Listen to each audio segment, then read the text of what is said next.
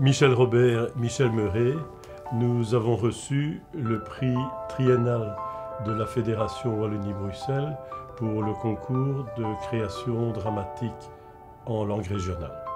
Pour notre pièce, euh, c'est Saint-Nom-d'Entreux, Vauban, tout délit. Nous avions quand même euh, certains éléments sur, euh, sur la vie, le comportement de Vauban. Donc voilà, il fallait que ça, transpire dans, dans notre œuvre. Il y avait un élément qui nous a paru particulièrement intéressant, c'est que Vauban est originaire du Morvan, donc vraiment le sud de la Bourgogne, et qu'il est originaire en fait d'une petite famille euh, noble, et qu'il parlait le morvandio, et qu'il le parlait notamment avec les soldats qui étaient de, son, de sa région. Et ça, ça nous a paru une approche euh, intéressante de pouvoir comparer deux langues régionales nous n'étions absolument pas des spécialistes du morvandio, mais nous nous sommes renseignés et nous avons effectivement constaté que certains termes étaient vraiment très très proches. Très proches. Déjà nous, nous nous n'écrivons pas euh, le wallon de la même manière, puisque euh, moi je suis de, de, Gerpine, donc euh, Michel est de Courcelles, donc on n'a pas on n'a pas le même wallon. Mais c'était ça qui était intéressant dans, dans la pièce, c'était d'avoir deux wallons différents et en plus le Morvandio. Je crois que parler de Vauban, c'est parler de Charleroi parce qu'il a finalement laissé beaucoup de traces. Il est venu, il a, organisé cinq fois le siège, le siège de Charleroi. Euh, il a détruit et reconstruit les murailles selon ses, principes euh, euh, d'architecte.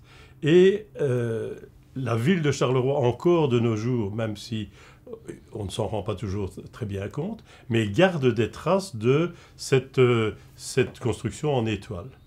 Et donc euh, Vauban est quand même quelqu'un qui, même si on en a perdu un petit peu le, souvenir à Charleroi, c'est quand même quelqu'un qui a fortement marqué nos régions. C'était intéressant aussi de, confronter Vauban avec la population de Charleroi il avait eu la mauvaise idée d'imaginer un impôt sur, je dirais, sur la fortune, et qui impliquait donc les nobles, et c'était évidemment très très mal perçu euh, dans la classe dirigeante euh, de l'époque. Et donc le fait de se retrouver à Charleroi, dans la population qu'il a un petit peu connue quand même, puisqu'il était, il était venu quelques années auparavant, euh, ça lui permet de, de, réfléchir et de prendre un peu un peu ses distances euh, avec ses fonctions militaires. Oui, on sait aussi que Vauban, euh, en, campagne, euh, donc était quand même près des gens. Enfin, Vauban a eu une dizaine d'enfants illégitimes. Donc voilà, c'était plausible dans notre histoire. Évidemment, dans, une pièce dramatique, il faut un intérêt dramatique. Donc il fallait une histoire. Donc euh, l'histoire, c'était que 26 ans plus tôt, euh, Vauban avait rencontré euh, une, jeune femme à Charleroi. Et allait-il se reconnaître en 1693 Aussi, il fallait donc voilà, il fallait confronter la, noblesse française, le peuple de, notre région, par rapport, par exemple, à la danse puisque on retrouve dans, notre pièce euh, le, le rigodon euh, qui se dansait à la cour de Louis XIV, et à un moment, euh, la dame de compagnie apprend cette danse à, la fille en question.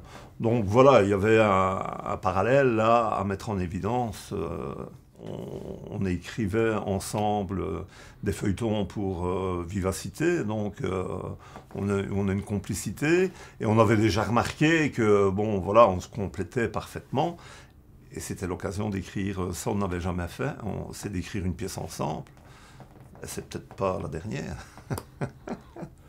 c'est souvent Michel qui commence, et puis quand il a un peu épuisé son, ses idées de départ, il me repasse euh, la patate.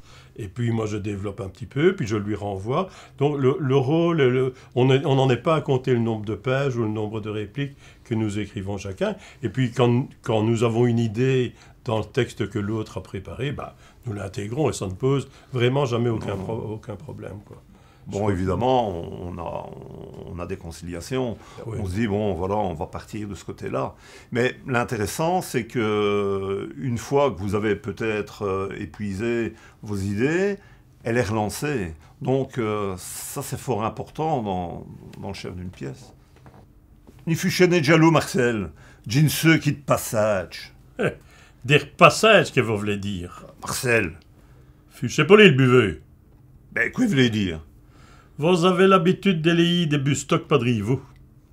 Taisez-vous, grigneux. Ah, l'itier de guerre du mai, c'est Stéphane.